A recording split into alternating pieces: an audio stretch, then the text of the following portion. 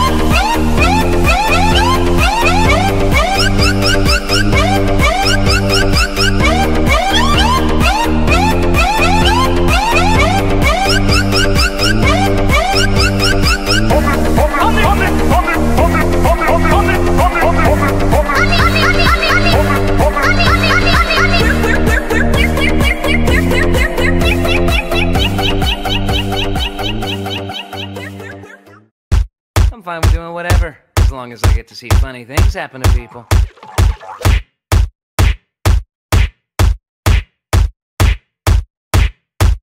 Except for swearing.